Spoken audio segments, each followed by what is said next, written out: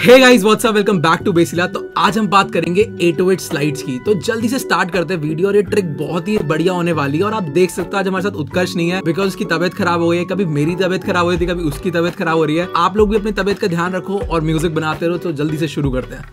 और गाइस तो जल्दी से सीखते हैं एटोट स्लाइड होती क्या है? तो ऐसा नहीं है कि ये सिर्फ़ हिप हॉप में हो सकता है, या आप ईडियम में भी कर सकते हो और बहुत सारे एक्सपेरिमेंटल गानों में भी यूज़ कर सकते हो। तो जल्दी से सीखते हो और इस एग्ज़ाम्पल में ड्रिल म्यूज़िक करने वाला हूँ बिकॉज़ ड्रिल में बहुत ज़्यादा इंपॉर्टेंस होती है ग्लाइड की या स्लाइड की। तो जल्दी से स्टार्ट करते हैं। तो सबसे पहले मैं यूज़ करने वाला लैब्स और इससे कुछ कॉर्ड बनाते हैं। मैं माइनर का स्केल बना लेता हूँ। तरीके से गाइडलाइन की तरह हेल्प करता है ए माइनर और इसी कॉपीज बना लेते हैं। तो बेसिकली ये हमें हेल्प करेगा माइनर स्केल को समझने में। कि अगर हम कोई भी नोट लगाएँगे, वो माइनर स्केल के अंदर लग रही है या नहीं लग रही। और मैं सोच रहा हूँ बेसिक रखते हैं सी माइनर स्केल यूज़ करते हैं तो इसको सी माइनर ले जाते हैं। इसको मैं सैम्पलर से रिप्लेस कर देता हूँ इसमें कोई साउंड ना आए। और अब हम क्या करेंगे, इसको नाम दे देंगे कॉर्ड्स और अब हम बनाएँगे कोई एक बेसिक सी कॉर्ड तो मैं क्या करने वाला हूँ बेसिक सी के नोट लगाऊँगा, इस तरीके से। और अगर आपने हमारी कॉर्ड्स की वीडियो देखे, कैसे कॉर्ड्स बनाते हैं बेसिक तो ये आ रहा होगा, इसको आप देख सकते हो। तो ये मेरा वन है रूट नोट अब थ्री एंड फाइव तो मैं वन थ्री फाइव का फॉर्मूला लगाऊँगा और मैंने सी माइनर कॉर्ड बना ली।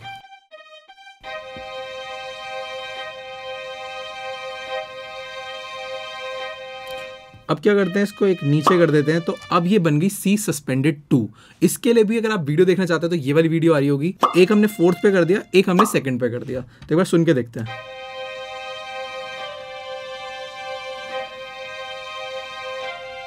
तो ये काफ़ी सही लग रहा है और ड्रिल म्यूज़िक में जनरली कई बार इसी तरीके की कॉर्ड होती है जिसमें बेसिक सस्पेंडेड कॉर्ड्स बनाई हुई होती हैं। इसको चेंज करते हैं किसी और प्रीसेट से।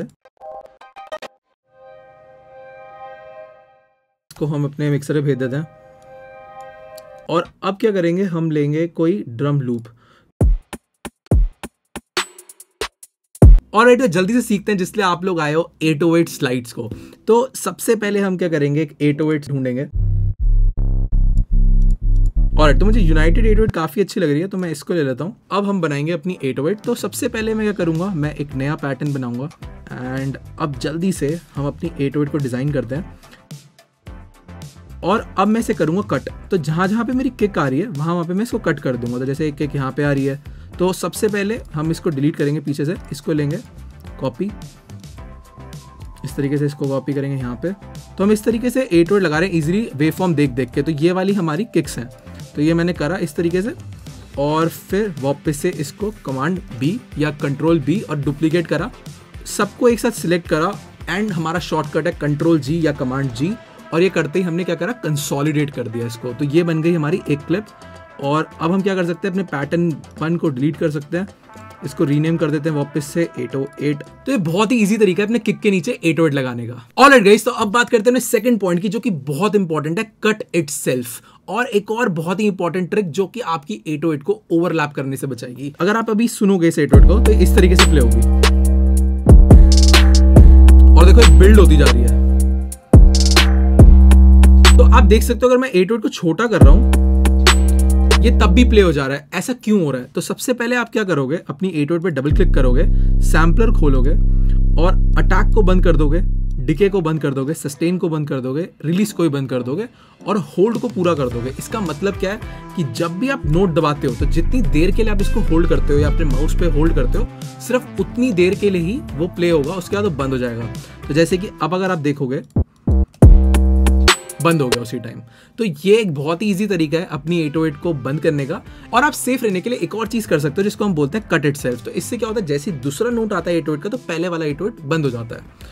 तो इसको आप यहाँ से भी कर सकते हो सेटिंग में गए एंड कट सेल्फ कर दिया और या फिर राइट क्लिक करके यहाँ से कर दिया। तो आप देख सकते हो मेरे ड्रम लूप के हर थर्ड पे स्नेयर आ रही है। तो हम क्या करेंगे, हम नहीं चाहते जब भी स्नेयर आए तो वहीं पे एट एट पड़े। ये कोई रूल नहीं है, आप कर सकते हो, अपनी एट एट वहाँ भी लगा सकते हो। बट इस केस में मैं चाहता हूँ कि जब भी स्नेयर आए तो हमारा ड्रम्स जो है या हमारे जो एट एट है वो वहाँ पर क्लैश ना करे। तो सबसे पहले क्या करेंगे, हर थर्ड पे हम अपनी एट वेट को छोटा कर देंगे। जैसे कि इस पॉइंट पे हम एट वेट को बंद कर देंगे। तो आप एक बार इसको सुन के देखो। और एक बारी हम सुनते इस तरीके से। तो आप देख सकते हो स्नेयर अच्छे से प्ले भी नहीं हो रही और ग्रूव भी नहीं आ रहा। इसको भी हम छोटा कर देंगे थर्ड पे।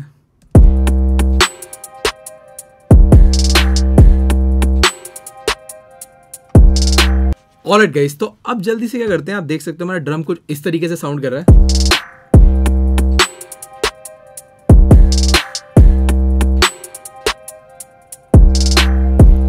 ये डिसेंट लग रहा है बट आप देख सकते हो ये एट वोट एक ही जगह पे प्ले हो रही है और बहुत ही स्टैगनेंट लग रही है। तो जैसे हमने वो गाइडेंस के लिए अपना ए माइनर जो बनाया था, जिसको हमने बाद में मूव करके सी माइनर पे ले गए थे, इसको हम यूज़ करेंगे अपने एट एट के लिए।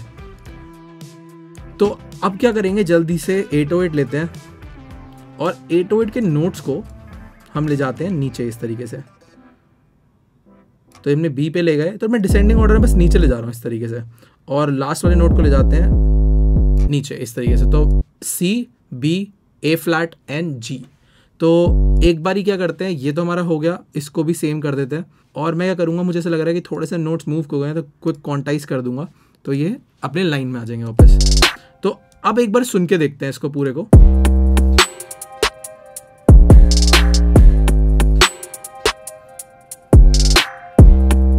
तो काफ़ी ज़्यादा सही लग रहा है और मुझे लग रहा है लास्ट वाले नोट को हम लंबा कर सकते हैं। इसमें चाहे जो स्नेयर वाला पार्ट है, जैसे मैंने आपको बताया था, हर बार ज़रूरी नहीं है कि स्नेयर पे हम बंद कर दें अपनी एडिट को। तो एक बार अब सुनते हैं।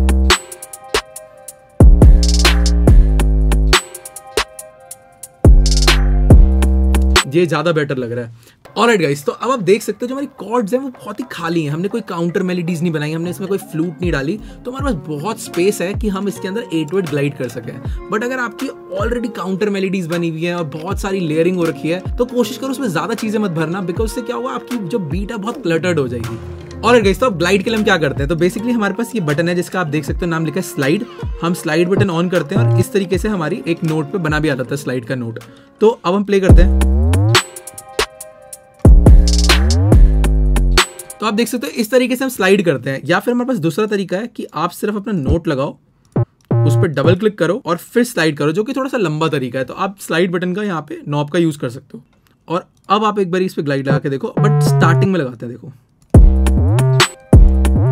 एक और हाफ़ करते हैं और फिर एक और ग्लाइड लगाते हैं। तो देखो, एक बार इसको इस तरीके से करते हैं।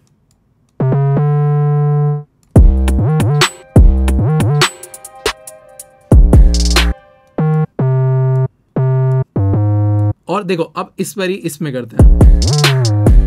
तो ये भी अच्छा लग रहा है बट वो चॉपीनेस नहीं आ रही जो इसके अंदर आ रही है। तो ये स्मूथ लगता है बट जो बाकी गानों में वो जो एकदम हार्ड हिटिंग स्लाइड्स आती हैं, वो नहीं आ पाती।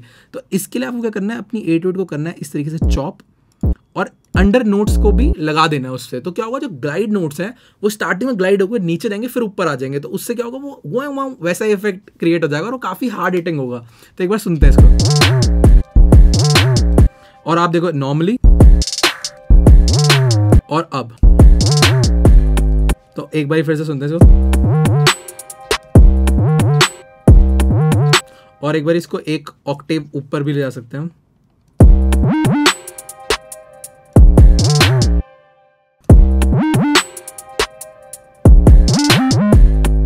एंड इसको भी हमें और हाफ़ करना पड़ेगा समथिंग लाइक दिस तो देखते हैं एक बार ये कैसा लगेगा। और अब बिकॉज़ हमारे ए टू एट के नोट्स हम और छोटे कर सकते हैं, इससे और थोड़ा शार्प लगेगा वो ग्लाइड के नोट्स तो हम ग्लाइड करते हैं इसको।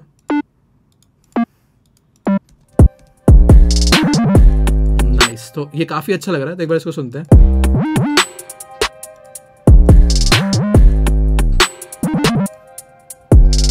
ऑल एट गई सब लास्ट चीज़ करके देखते हैं एक बार, इसको क्लोन करते हैं, इसको कॉपी करते हैं यहाँ से।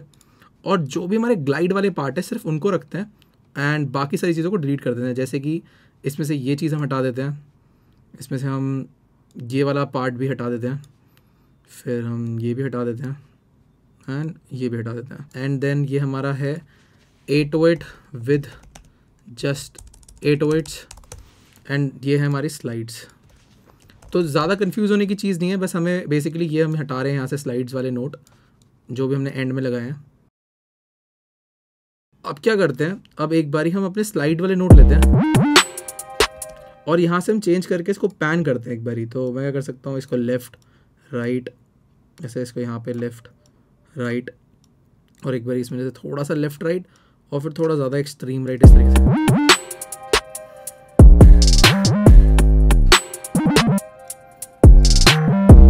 और गई तो बस लास्ट पॉइंट ये रहेगा, जब भी हम कोई नई टेक्निक सीखते हैं, हम क्या करते हैं, हम ओवरडू करने लग जाते हैं। हर जॉनर में, हर गाने में हम इसको घुसाने लग जाएँगे। तो ऐसा बिल्कुल मत करना, आपकी वोकल के हिसाब से मेलेडी के हिसाब से, आपके एंटायर बीट के हिसाब से, अपनी ग्लाइड को फिट करना जहाँ पे स्पेस है।